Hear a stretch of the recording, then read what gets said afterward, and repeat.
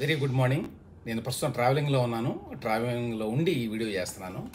నిన్న డెవలప్మెంట్స్లో చాలా ఆసక్తికరమైనది ఒకటి కనిపించిందండి. అదేంటంటే అక్క చెల్లెళ్ళిద్దరు షర్మిల సునీత జగన్మోహన్ రెడ్డి గారికి అసలు నిద్ర పట్టనివ్వడాల నిన్న వారు చేసిన కామెంట్లు కనుక చూస్తే ఏ స్థాయిలో జగన్మోహన్ రెడ్డిని వాళ్ళు ఈ ఎన్నికల్లో ఇబ్బంది పెడుతున్నారు ఇబ్బంది పెట్టగలుగుతున్నారు అనే విషయం అర్థమవుతుంది. నేను చాలా డ్యామేజింగ్ స్టేట్మెంట్ ఇచ్చిందండి సునీత గారు. ఏంటంటే అయ్యా జగ జగన్మోహన్ రెడ్డి గారు ఆ బ్యాండేజ్ ఎన్నాళ్ళు కడతారు అది? ఆ బ్యాండేజ్ పెట్టుకోకూడదు బ్యాండేజ్ లాంటిది అట్లా అతికించుకోకూడదు. అట్లా అతికిస్తే అది సెప్టిక్ అవుతుంది చీము పెరుగుతుంది. ఆ బ్యాండేడ్ తీసేస్తేనే గాలి తగిలి మీకు తగిలిన గాయం తొందరగా తగ్గుతుంది. కాబట్టి ఒక డాక్టర్గా నేను సలహా ఇస్తున్నాను మీరు ఆ బ్యాండేడ్ని తీసేయండి అని. బ్యాండేజ్ తీయకపోతే సెప్టిక్ అవుతుందని చెప్పి అన్నదని. సునీత గారు డాక్టర్ అండి ఆవిడ. యాక్చువల్గా అపోలో హాస్పిటల్స్ హైదరాబాద్లో ప్రాక్టీస్ చేస్తారు. కాబట్టి ఒక డాక్టర్గా చెప్పిందనమాట సునీత గారు. నిజానికి అందరికీ కూడా తెలుసు ఆ విషయం.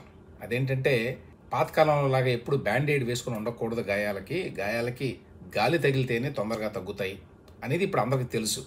ఆధునిక వైద్యంలో అదొక భాగం.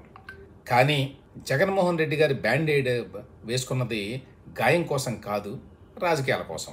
అందువల్ల ఆయన అది కంటిన్యూ చేస్తున్నాడు. ఎప్పటి నుంచి కంటిన్యూ చేస్తున్నాడు?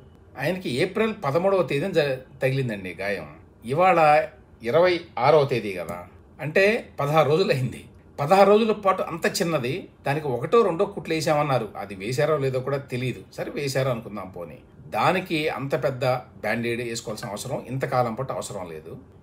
క్లియర్గా అది జనం దగ్గర నుంచి సానుభూతి పొందటానికి జగన్మోహన్ రెడ్డి గారి మీద ఎవరు అటాక్ చేయబోతున్నారు ఆయన ప్రాణానికి ముప్పు ఏర్పడింది ఆ ముప్పు నుంచి తప్పించుకున్నాడు ఆయన అనేటువంటి ఒక మెసేజ్ ఇవ్వడానికి అది పెట్టుకున్నట్టుగానే కనిపిస్తుంది అందరికీ తెలిసిపోయింది అది. ఇప్పుడు ఏమైనా మిగిలుంటే గాలి అది కూడా తీసేశారు సునీత గారు ఈ మాట చెప్పడం ద్వారా. తర్వాత ఇవాళ ఇంకొక చిన్న వార్త వచ్చిందండి ఈనాడులో ఎంత దెబ్బకు అంత బ్యాండేజ్ కదా అని. ఎందుకు రాశారు ఈ మాట అంటే చాలామంది పాయింట్అవుట్ చేశారు ఇది. అదేంటంటే ఏప్రిల్ పదమూడవ తేదీన ఆయన మామూలుగా తిరిగి తర్వాత పది గంటలకు ఎప్పటికో వెళ్ళాడు ఆయన హాస్పిటల్కి. వెళితే అక్కడ వాళ్ళు దానికి ఏదో ఒక కుట్టేసి ఒక బ్యాండేజ్ వేసి పంపించారు. పంపించినప్పుడు బయటకు వచ్చినప్పుడు చిన్న బ్యాండేజ్ ఉందండి ఆయన నుదుటి మీద. ఆ తర్వాత నుంచి ఎవ్రీ డే అది ఆకాశంలో చంద్రుడి మాదిరిగా అట్లా పెరుగుతూ వచ్చింది. ఇప్పుడు అది రెండింతల పెద్దగా ఉంది. అంటే బ్యాండేజ్ సైజ్ పెరుగుతోంది అనమాట అంటే మన రాజకీయ అవసరాలను బట్టి బ్యాండేజ్ సైజ్ కూడా పెరుగుతూ వస్తోంది. అదే రాశారు. ఈ నెల పదమూడున సీఎం జగన్ తగిలిన గాయం అనే ఫోటో ఆ తర్వాత వరుసగా ఒక ఆరు ఫోటోలు వేశారు.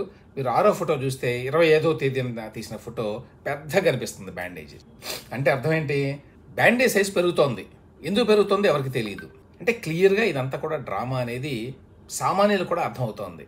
ఇంత చిన్న దాన్ని కూడా ఉపయోగించుకొని సానుభూతి పొందాలి అని చెప్పి జగన్మోహన్ రెడ్డి గారు అంత డెస్పరేట్గా ఎందుకు ప్రయత్నిస్తున్నాడు అనేది అది చూసిన వాళ్ళకి బహుశా కాన్ఫిడెన్స్ తగ్గిపోతోందా? ఈసారి ఎన్నికల్లో విజయాల పట్ల. అందుకోసం అని చెప్పి ఇంత పెద్ద డ్రామా వేస్తున్నారా? అని ఎవరైనా అనుకుంటారు. ఆ తర్వాత అందరితో మానలేదండి. సునీత గారు షర్మిల గారు ఇంకా చాలా మాట్లాడారు నిన్న. ఎందుకు మాట్లాడారు? అంతకుముందు పులివెందుల్లో జగన్మోహన్ రెడ్డి గారు అక్కడ ఒక పబ్లిక్ మీటింగ్లో చాలా దిగజారిపోయి మాట్లాడాడు. ఏంటంటే గతంలో ఎప్పుడో షర్మిల గారు ప పచ్చ చీర కట్టుకున్నారట. అంటే తన కొడుకు పెళ్ళికి సంబంధించి ఇన్వైట్ చేయడానికి చాలా మంది దగ్గరికి వెళ్ళారు. ఇన్విటేషన్ కార్డు పట్టుకొని. వెళ్ళినప్పుడు చంద్రబాబు నాయుడు గారి ఇంటికి వెళ్ళి ఆయన కూడా ఒక కార్డు ఇచ్చారు. ఇచ్చినప్పుడు ఆవిడ పసుపు పచ్చ రంగులో ఉన్న చీర కట్టుకున్నట్టున్నారు ఆ రోజునే బహుశా ఆ తర్వాత కూడా చాలాసార్లు కట్టుకున్నారు అది వేరే విషయం.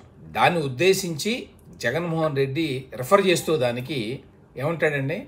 పచ్చ చీర కట్టుకొని వెళ్ళి అంటే తన శత్రువులు కలుస్తున్నారు అని. పసుపు చీర కట్టుకొని ప్రత్యర్థుల ఇళ్ళకి వెళ్ళి మోకరిల్లారు అని చెప్పి అన్నాడండి. ఎక్కడ పులివెందుల్లో వాళ్ళ సొంత ఊళ్ళో. ఎందుకు ఈ మాట అనాల్సి వచ్చింది ఆయన? అంటే పులివెందుల్లో ఆ స్థాయిలో షర్మిల గారు సునీత గారు వాళ్ళకి చేసినటువంటి ఆ మెసేజింగ్ అనేది వెళ్ళింది. దాని యొక్క రిజల్ట్ చూసి భయపడి జగన్మోహన్ రెడ్డి గారు సొంత ఊళ్ళో కూడా జనాన్ని కన్విన్స్ చేసుకోవాల్సిన పరిస్థితి వచ్చిందనమాట సరే వస్తే వచ్చింది అనుకోండి ఆయన కూడా చెప్పుకోవచ్చు ఏదో ఒకటి.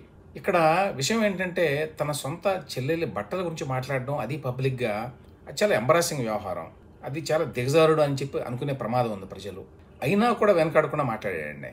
వెంటనే దాన్ని ఎక్స్పోజ్ చేసింది షర్మిల. నువ్వు నీ సొంత చెల్లెల బట్టల గురించి మాట్లాడవచ్చా ఏమిటి పసుపు రంగులో ఉన్న చీర కట్టుకుంటే? పసుపు రంగు ఏమైనా తెలుగుదేశం వాళ్ళ సొంత ఆస్తి వాళ్ళ వాళ్ళ పేటెంట్ అదేమన్నా? సాక్షి పత్రిక కూడా పసుపు రంగులోనే పెట్టావు కదా. పసుపు రంగు అంటే తెలుగు వాళ్ళకి అది ఒక ఒక ప్రాస్పరిటీకి గుర్తు యాక్చువల్గా అది అందరికీ తెలుసు. షర్మిల కూడా చెప్పింది ఆ మాటలు. దాన్ని పట్టుకొని నువ్వు నన్ను నీ సొంత చెల్లెలను పట్టుకొని సొంత చెల్లెల బట్టల గురించి పబ్లిక్ మీటింగ్లో మాట్లాడతావా నువ్వు అని. చాలా గట్టిగా అడిగింది కడిగి పారేసింది యాక్చువల్గా. దాని మీద చంద్రబాబు నాయుడు గారు కూడా ఒక ట్వీట్ చేసినట్టున్నాడు. సొంత చెల్లెల బట్టల గురించి మాట్లాడతావు నువ్వు?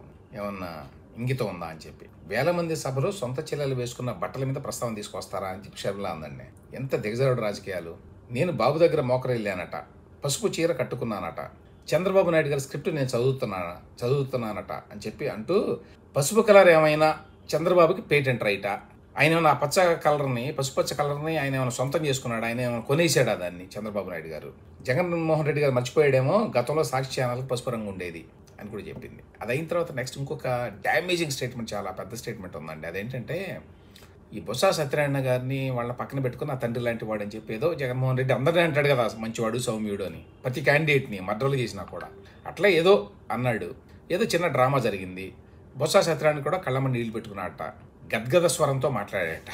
సరే అది దాని మీద శర్మ రియాక్ట్ అవుతూ చాలా డ్యామేజింగ్ స్టేట్మెంట్ ఒకటి చేసిందండి. అదేంటంటే అసలు జగన్మోహన్ రెడ్డికి వైఎస్ఆర్ గారి శత్రువులేమో మిత్రుల. ఆయన సొంత కూతురు ఆయన బిడ్డలు ఆయన బంధువులు ఆయన అమ్మ అందరూ కూడా శత్రువుల అని. ఎవరు ఆయన పక్కన ఉంది? సజ్జల రామకృష్ణారెడ్డి వైవి సుబ్బారెడ్డి విజయసాయిరెడ్డి వీళ్ళ బొత్స సత్యనారాయణ వైఎస్ఆర్ని తాగుబోతు చెప్పి తిట్టాడు. ఎప్పుడు కిరణ్ కుమార్ రెడ్డి గారు గవర్నమెంట్లో మంత్రిగా ఉన్నప్పుడు. అసెంబ్లీలోనే బయట కూడా కాదు. అటువంటి వ్యక్తి ఏమో "మే- మీకు చాలా సన్నిహితుడా మేమంతా దూరమా అని చెప్తూ అసలు వైఎస్ఆర్ గారి పరువు తీస్తున్నది ఏమే మేము కాదు మేము వెళ్ళేదో చంద్రబాబు నాయుడుతో చేతులు కలిపాము ఇంకెవరితో చేతులు కలిపామని మాట్లాడుతున్నారు. మేము ఎవరితో చేతులు కలపలేదు. నువ్వు అవినాష్ రెడ్డిని వెనక వెనకేసుకొస్తున్నావు కాబట్టి వివేకానంద రెడ్డి గారి హత్యని దాన్ని దానిలో ఉన్న పాల్గొన్న వాళ్ళని కాపాడుతున్నావు కాబట్టి మేము బయటకు వచ్చి మాట్లాడాల్సి వస్తుంది అని చెప్తూ అసలు వైఎస్ఆర్ పేరుని ఎవరు పెట్టారు? ఆ సిబిఐ కేసులో పెట్టింది జగన్మోహన్ రెడ్డే ఇప్పుడు చెప్తున్నాను నేను అని శర్మిల చెప్పింది. చాలామందికి తెలిసి ఉండకపోవచ్చు అండి ఇది. అదేంటంటే ఈ సిబిఐ కేసు ఏదైతే ఉందో జగన్మోహన్ రెడ్డి గారి మీద అక్రమాస్తుల కేసు అంటారు కదా దాంట్లో వైఎస్ఆర్ గారి పేరుని చేర్చింది జగన్మోహన్ రెడ్డే. ఎలా చేర్చాడంటే ఇప్పుడు ఎవరైతే సుధాకర్ రెడ్డి అని ఉన్నాడో అడిషనల్ అడ్వకేట్ జనరల్ అప్పుడు బయట లాయర్ అనుకోండి ఆయన. ఆయన ద్వారా ఒక పిటిషన్ వేయించి అసలు ఈయన పేరు పెట్టాలి మీరు జగన్మోహన్ రెడ్డి పేరు కాదు అని చెప్పి ఒక పిటిషన్ వేయించి ఆ విధంగా వైఎస్ఆర్ గారి పేరుని జగన్మోహన్ రెడ్డి గారి ఆస్తుల కేసులో ఆయన పెట్టారు. ఈ విషయాన్ని ఉండవలి అరుణ్ కుమార్ కూడా చెప్పాడు గతంలో. ఆ క్లిప్ కూడా దొరుకుతుంది ఎవరికైనా సరే. యూట్యూబ్లో చూస్తే. చాలా స్పష్టంగా చెప్పాడు. ఎవరు పెట్టారు వైఎస్ఆర్ పేరుని? జగన్మోహన్ రెడ్డే కదా పెట్టింది అని. మరి ఆ టైంలో జగన్మోహన్ రెడ్డి గారు దూరంగా పెట్టాడనే కోపంతోనో ఏమో కానీ ఉన్న వా నిజాన్ని చెప్పాడు ఉండవల్లి. ఇది టీవీ నైన్ ఇంటర్వ్యూలో చెప్పాడు. అందరికి తెలిసింది ఇప్పుడు షర్మిల కూడా తెలుసు కాబట్టి ఆవిడ బయట పెట్టింది. వైఎస్ఆర్ గారి పేరుని ఈ కేసులో చేర్చింది నువ్వు.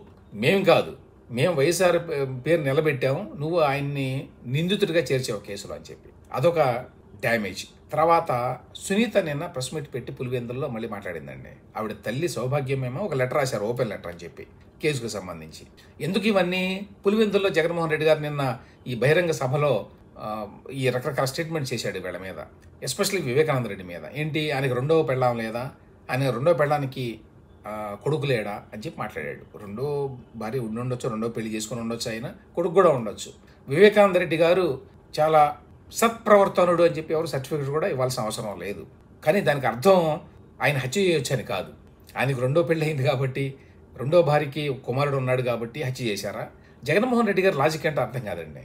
ఒకవైపున అవినాష్ రెడ్డి ఏమో చాలా అమాయకుడు చిన్నపిల్లవాడు. అని చెప్పి మాట్లాడాడు. ఇంకో వైపునేమో వివేకానంద రెడ్డి యొక్క పర్సనాలిటీని బాగా దెబ్బతీయటానికి ఆయన ఇమేజ్ని దెబ్బతీయటానికి ప్రయత్నం చేశాడు. ఆయనకి రెండో పెళ్ళి చేసుకొని ఉండొచ్చు రెండో భార్యకి పిల్లలు ఉండొచ్చు. దానికి ఆయన హత్య చేయడానికి సంబంధం ఏంటి? ఒకవేళ దాని వల్లనే సునీత గారు హత్య చేయించారు అని చెప్పి అనుకుంటే ఆవిడ దానికి నేరుగా ప్రశ్న వేసింది ఏంటి? మా పాత్ర ఏదన్నా ఉంది అనుకుంటే మమ్మల్ని అరెస్ట్ చేయి నువ్వు. ఎవరు బాధ్యులైతే వాళ్ళని అరెస్ట్ చెయ్యి నీదే ప్రభుత్వం. ఐదేళ్ళ పాటు నీ ప్రభుత్వం అధికారంలో ఉంది. ఐదేళ్ళ పాటు నువ్వు మాట్లాడలే ఈ కేసు గురించి. ఇప్పుడు వచ్చి వివేకానంద రెడ్డి గారికి పెళ్ళయింది ఇంకోటి అయింది అని చెప్పి మాట్లాడతావా?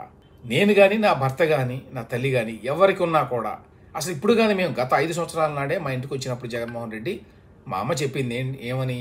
మీ అల్లుడు ఏ పాత్ర ఉందని అనుకుంటున్నారు బయట జనం అని చెప్పి అన్నట్ట జగన్మోహన్ రెడ్డి. అంటే ఆవిడ వెంటనే అంది ఒకవేళ నా అల్లుడు రాజశేఖర రెడ్డి పాత్ర ఉందనుకున్నా నా కూతురు పాత్ర ఉందనుకున్నా నా పాత్ర ఉందనుకున్నా వాళ్ళ మీద కేసు పెట్టి వాళ్ళు అరెస్ట్ చేయండి. వాళ్ళకి తగిన శిక్ష వేయండి. ఎవరైనా సరే. అని ఐదేళ్ళ నాడే చెప్పింది మా అమ్మ. నేను చెప్పాను గతంలో చాలాసార్లు.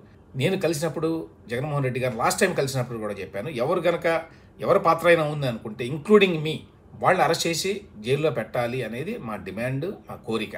ఆవిడంత ఓపెన్గా చెప్పినప్పుడు మరి జగన్మోహన్ రెడ్డి గారు అంత ధైర్యంగా మరి మాట్లాడచ్చు కదా? నిజంగా కనుక వాళ్ళ పాత్ర ఉంటే కానీ ఎంతసేపటికి కేసును డైల్యూట్ చేయడానికి డిస్ట్రాక్ట్ చేయడానికి పక్కలో పట్టించడానికి మాత్రమే జగన్మోహన్ రెడ్డి మాట్లాడుతున్నాడు. అంటే దాన్ని బట్టి అర్థమవుతుంది ఆయన డిఫెన్స్లో ఉన్నాడు ఈ విషయంలో అని. సునీత గారు ఇంకొక మాట ఉన్నదండి అవినాష్ రెడ్డి చిన్న పిల్లవాడా? చిన్న పిల్లవాడు అయితే స్కూల్కి పంపించండి. మూడోసారి ఎంపీ టికెట్ ఎందుకు ఇచ్చారు? రెండుసార్లు ఎంపీగా ఎందుకు చేశారు? చిన్న పిల్లవాడు కదా. చిన్న పిల్లవాళ్ళని మనం పార్లమెంట్కి పంపిస్తామా? పెద్ద పెద్ద నిర్ణయాలు తీసుకునేటువంటి ఆ వ్యవస్థలో భాగంగా ఉంచుతామా? చిన్న పిల్లవాడైతే అని ప్రశ్నించింది. తర్వాత చివరగా ఒక గట్టిగా ఒక మాట మాట్లాడిందండి. నేను సాక్షి టీవీకి వచ్చి కూర్చుంటా. మీరు ఎవరైనా సరే మీ తరఫున వచ్చి కూర్చోండి. మీ టీవీయే కదా. అక్కడ మాట్లాడదాం. వివేకానంద రెడ్డి గారి హత్య కేసు దాంట్లో ఎవరు పాత్రధారులు ఎవరు సూత్రధారులు ఎవరు ప్రోద్బలంతో జరిగింది సిబిఐ వాళ్ళు ఏ విషయాలను కనుగొన్నారు ఎవరు బాధ్యులు అనే విషయాల గురించి మాట్లాడదాం. నేను సిద్ధం మీరు సిద్ధమేనా అని అడిగింది. దాన్ని బట్టి కూడా అర్థమైంది ఏంటంటే మోరల్గా రైట్ సైడ్న ఉన్నది ఎవరు? షర్మిల సునీత ఈ వివేకానంద రెడ్డి గారి హత్య కేసులో. ఆ పక్కన జగన్మోహన్ రెడ్డి గారు చాలా డిఫెన్స్లో ఉన్నాడు. అతనికి తెలుసు చాలా పెద్ద తప్పు జరిగింది ఇందులో అని. కానీ దాన్ని ప్రొటెక్ట్ చేసేటువంటి పనిలో ఉన్నాడు. ఆ పనిలో అనేక అనేక ఇబ్బందులు ఎదుర్కొంటున్నాడు. అతను ఊహించలేదండి. ఈ స్థాయిలో ఇబ్బందులు ఎదుర్కొంటాను ఎందుకంటే అధికారంలో ఉన్నాను నేను ఏం చేసినా జరుగుతుంది. అందులో కడపలో పులివెందుల్లో అసలు ఆయనకి తిరిగే ఉంది. కాబట్టి ఏం చేసినా కూడా అడిగేవాళ్ళు లేడు ఇప్పుడు అధికారంలో ఉం- ఉండగా. ఆ ఉద్దేశంతో చాలా లైట్గా తీసుకున్నాడు. దానికి తోడు బీజేపీతో కూడా మంచి సంబంధాలు ఉన్నాయి అనుకున్నాడు. కానీ అక్క చెల్లెళ్ళిద్దరూ ఈ స్థాయిలో ఈ ఇష్యూని ప్రజల్లోకి తీసుకెళ్తారని కానీ మీడియాలో ఇంత పెద్ద ఇష్యూని చేస్తారని కానీ ఈ విధంగా తనకి ఎదురుగా నిలబడి తనని ఛాలెంజ్ చేస్తారని కానీ జగన్మోహన్ రెడ్డి గారు కల్లో కూడా ఊహించుండడం ఎన్నికల టైంలో వాళ్ళు చాలా ధైర్యంగా షర్మిల గారు చాలా ధైర్యంగా చేస్తుంది. సరే ఆవిడ పాలిటిక్స్లోకి వచ్చింది కొంతవరకు నయం. సునీత గారు అయితే ఈ స్థాయిలో బహుశా నిలబడి మాట్లాడగలదు. ఏనాడు బయటికి రాని వ్యక్తి ఏనాడు పబ్లిక్లో ఉండని వ్యక్తి ఏనాడు ఒక కెమెరా ముందు నిలబడిన వ్యక్తి బయటకు వచ్చి ఈ స్థాయిలో తాను నమ్మిన దానికోసం గట్టిగా నిలబడి పోరాడుతుంది. తన ప్రాణాన్ని ఉడ్డైనా సరే న్యాయం చేయాలనేటువంటి స్థాయిలో ఆవిడ పోరాడుతుందని చెప్పి జగన్మోహన్ రెడ్డి గారు ఊహించినా ఊహించాల. ఆ విధంగా అక్క చెల్లెళ్ళిద్దరూ నిజం చెప్పాలంటే ఇవాళ ప్రతిపక్ష పార్టీల కంటే ఎక్కువ పెను సవాలుగా జగన్మోహన్ రెడ్డి గారికి మారారు.